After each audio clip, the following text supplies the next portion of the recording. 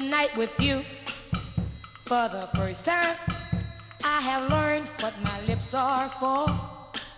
And darling, now that I've kissed you, I am craving to kiss you more. Let me tell you.